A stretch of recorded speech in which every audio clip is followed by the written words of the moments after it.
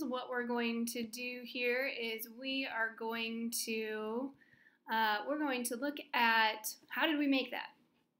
So first off the first event had to be hopefully you figured out was the red sand.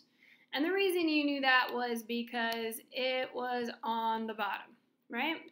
So then next up had to be our blue sand because it was on top of the red then we had to do our purple sand because it was on top of the blue. And then our yellow sand because it was on top, oops, on top, there we go, of the purple.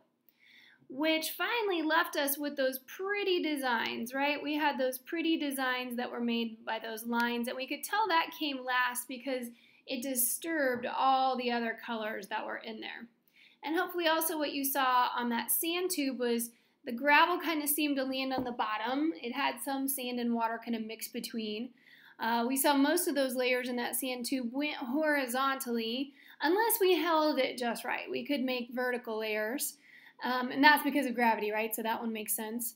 Uh, we also saw the water was dirty, and if we flipped it really fast, we could get the stuff to land on the top and just kind of hang out up there. So it was kind of cool.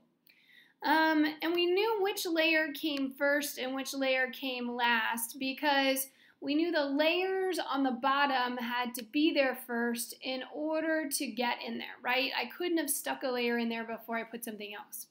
Now, we know from playing with the sand tube, though, that's, that's not always true because we, if we flip the sand tube over, we could get the layers to land on top. So you can kind of imagine like a rock tumbling down a hill um, when after a rain. Um, that might not land on its bottom, it might land on the top. And so sometimes there are going to be layers that don't land um, on the right order. Um, this idea that you guys had already figured out from our puzzle was the, is called the law of superposition. You're probably going to want to star or mark that one in some way, shape, or form if you're taking notes at home, um, because this one's really your bread and butter. It's the one we use most often. And the layer on top of another layer is always younger than the layer below it.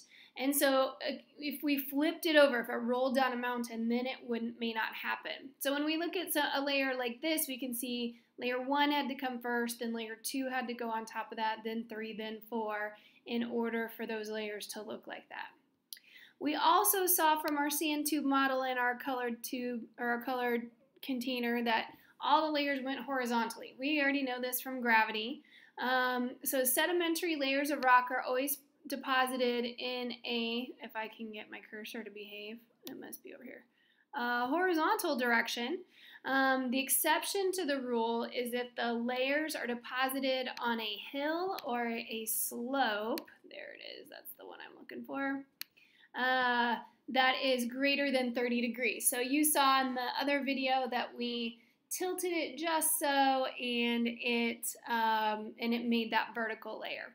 So what this looks like in rocks though is not so much a vertical layer, but we get this bump. So what happened here was the layers were laid down like they are in these nice flat layers up here. But what then happened is they get folded. So layers A, B, and C get laid down, and then this fold comes later. There's some sort of upheaval or push um, that comes from the bottom. So uh, that uh, is what makes that hill.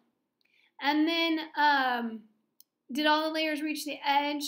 Either or both of those answers are correct. You could say yes, you could say no. On the bottle, yes, they all went to all the edges.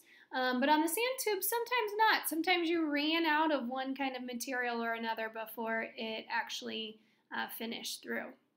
That idea that about layers reaching the edge is called lateral continuity which means layers will continue until they reach an edge or they run out.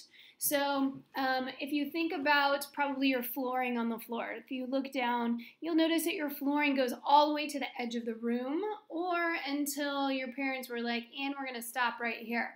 Um, sometimes, like in my bathroom downstairs, we have not finished it and we ran out of tile. So if you look way back in the back corner, there's a little chunk that's missing. Um, so we ran out of tile. Um, and so the layers continue until they reach that edge of that room right? Um, if you're a if you're into football, lateral passes go sideways. So this mean, literally means sideways continuous.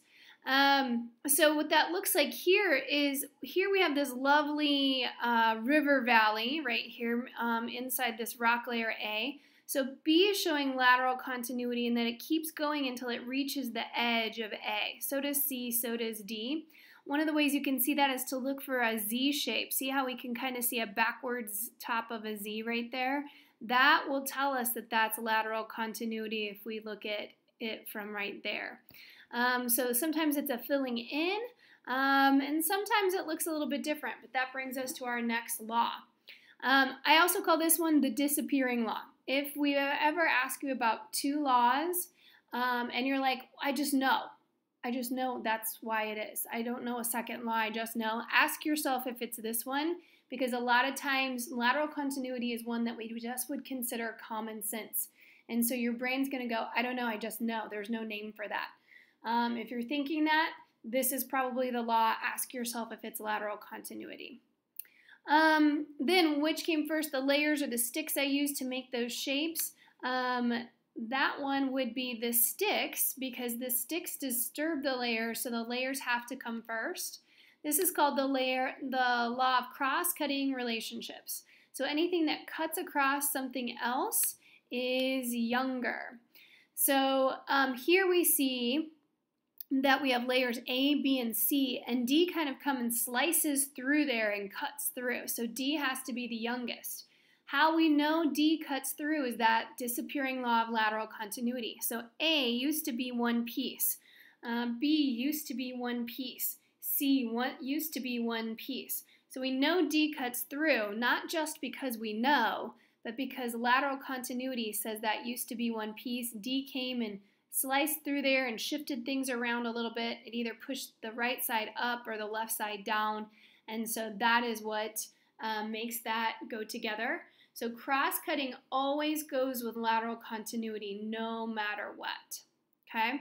Um, so next we have a puzzle right here. We're going to go through as an example.